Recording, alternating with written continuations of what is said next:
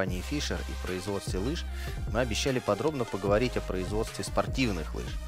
Руководитель отдела исследований и разработок компании Алоис Пибер не только подробно рассказал нам об особенностях создания и производства цеховых лыж, но и показал, как измеряют индекс жесткости лыжи. Если вас интересует, что такое настоящий спортцех и бывает ли он не настоящим, а также на каких лыжах выступают гонщики в Кубке мира, то это видео для вас. So what's the difference between uh, the development and the process when we compare the regular production and the racing production, yeah. so the cycle and so on? There is a huge difference. Uh, you can imagine uh, racing development is a permanently ongoing process. And uh, we are doing the racing development uh, together with our top athletes, which are running in the World Cup uh, scene, like Alexander Khoroshilov or Manfred Mölgg or Daniel Yule or Vince Kriechmayr. So the job is done directly with, together with them, with the service guys and all the others. And when I say it's a permanently ongoing process, means uh, we have uh, some cycles in a year uh, where we do strong developments, which is more or less after the season because when the race stress from the World Cup races and championships or Olympic Games are over, this is uh, one, two months in March, April, uh, where we're making a lot of different tests, a lot of different versions. Then the racers make a break out of physical conditions, they make physical training and vacation, normally until end of June. Uh, now we start uh, with the with uh, the second cycle of development, which is very short, three, four weeks, with ski holes. For example, next week we are on uh, in uh, France in a ski dome with different versions of slalom skis, and uh, which we already based on the development in March, and uh, with some additional ideas. This time is very busy because uh, the results from next week will be spread to 10 other athletes. So we have to build up in two weeks 15, 20 pair of skis. Mm-hmm. Uh, then normally the athletes go to the summer training, which is normally in uh, the southern hemisphere, like Argentina, Chile, or New Zealand. And then they have really three weeks, four weeks, depending on conditions, where they can uh, push really the stuff and find out what is the best setup, what is the things. And what is very important, this is the first comparison with the competitors. Mm-hmm. Because within the teams, uh, what we are doing in springtime is Fischer based.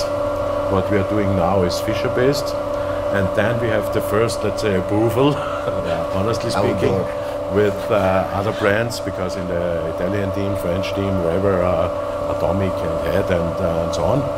And uh, when we see that we are competitive, which is for sure the target and uh, is quite good, uh, but sometimes uh, we have to improve something, so we come to the next cycle, which leads up to the first races, which are in Sölden and Levi normally. And then the development is, I would not say stopped, but the development uh, is going back because the athletes has to concentrate on the races for training and to be successful on the races. For sure, the real proof of a ski if you do it in spring, if you do it in summer training, if you do it in autumn, the real proof is the race itself. Uh, because we have to, to think over two things. One is the material, the second is the shape of the racer. Not only in physical condition, but only in the, in the will to win a race, to go to really to the limit. And in the meantime, the, let's say the performance level of material of racers is that high that at the final end, when he goes to the limit, you can see if the material is really working or not working. Which leads me, uh, so then in, in winter time we do, some small adjustments and not to disturb too much the concentration of the guys. But this leads me now for the commercialization.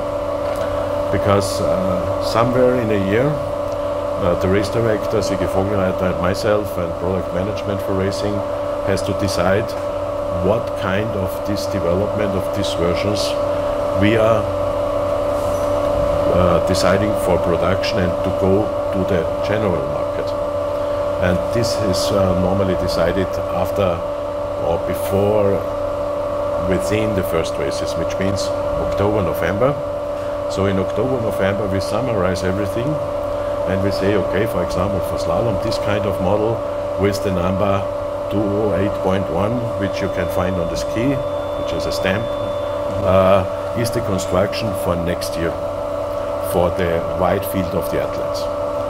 Uh, the decision is done not uh, because one of the guys has his individual model and where it says the individually the fastest one, we try to summarize what is the, let's say, what is the most common used. Common use. Because uh, racers are in the meantime that individual, so uh, I cannot uh, avoid that uh, Manfred Mölgg or Alexander has a specific model. But out, if out from then eight are using the 208.5, for example, then we say this is the model for the market. And this model for the market, so we have the World Cup level, and for sure, the World Cup level is individual. But anyway, the experience shows that there is some trend year by year. And when we decide this, uh, we decided for the next year's production, not for three years, the next year's Next production. And this we decide in two levels, which is the, we call it national level. And the national level is produced under the exactly same conditions like the World Cup level, with the same people, with the same presses, with the same structuring and grinding, and uh, with a very high quality aspect, especially with the overall flex. Here we can see, and maybe later on we can uh, check it. We measure the flex distribution, but for the production control, we make we measuring the flex index. For example, if the model, just to say something, 281 has a flex index 54, with the average, this you can find on the ski. This is the national level. But parallel, we do the same changes for the international level. And the international level has the same construction, has the same materials inside. The only difference is that we can, on this big quantity, not focus on that close, let's say, flex index. Which means on the international level you have to find a wider range. For example, if you make it in racing with the flex 54, you will find in the international a 52, a 54, a 56.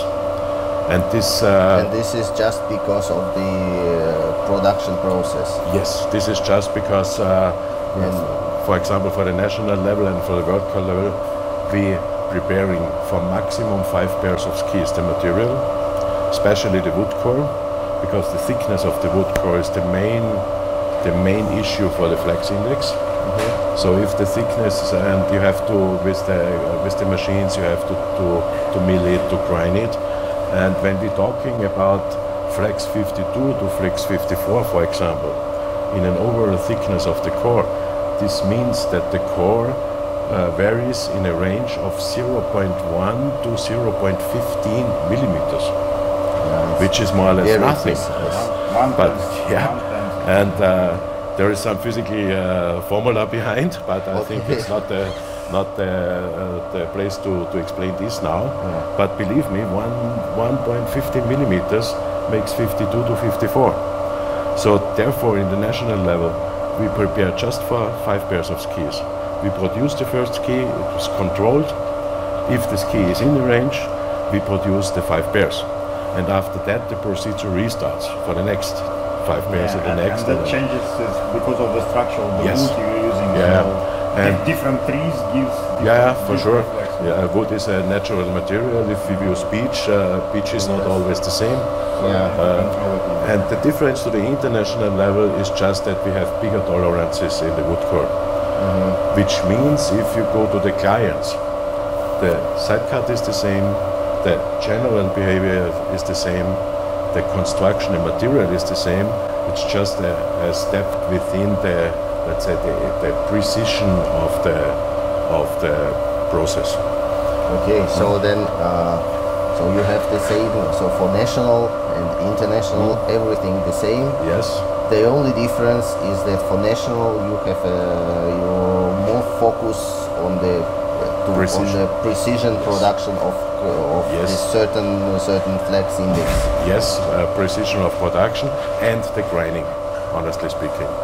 Because the national level is World Cup uh, finish with people which are only working for this. It's not a big machinery. For the international, and keep in mind uh, if you use these keys, because these keys are for really the high quality racers. From World Cup, European Cup to the high level of FIS racers. Uh, and you have uh, to prepare these keys. Nobody uses it from the shelf. from the- Yeah, Yeah, nobody is that- using for, for sure. for out of the box and so on. Yeah. And for the international, because we have a lot of clients, which for their use and for their needs, it's not needed this exactness of, of precision, because they have anyway not the slopes to do this, to feel this, because you have always to compare, uh, let's say, FIS prepared slopes which are smooth, hard packed, flat, where you can feel this. If you go to a natural slope, even a World Cup racer will be hard to, to feel the difference. Uh, and this keys has to be skilled out of the box because the client, uh, normal client, uh, does not like to spend a lot of time and money for finishing preparation and things like this. So this is the only difference. Uh, There is a myth on the on the market that some people say that the the diff- that the national level that the, the uh, skis of these different levels, some people really think that they have differences in construction. No, no, Yeah, that, Not- that's definitely not at Fischer.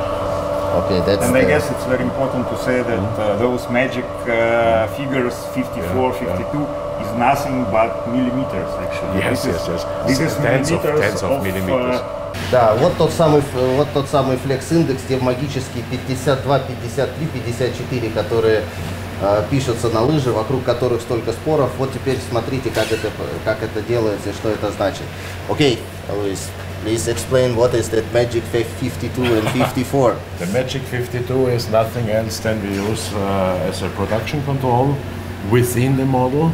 So 54 with the model 28.5 does not mean the same with 54 in terms of behavior of the model itself, but it's just a flex index. And it's measured very simple. We have uh, support, the tip and the tail. Uh, we have a certain preload, which is 200 grams. Then we say zero, and then the ski is flexed with around 15 kilogram, and this ski has a flex of 53 millimeters flex. That's it. Okay. Coming back, go up and go up. And with this we control the production. And as I explained before, with the 0.50 millimeters, we get the flex 52, 54.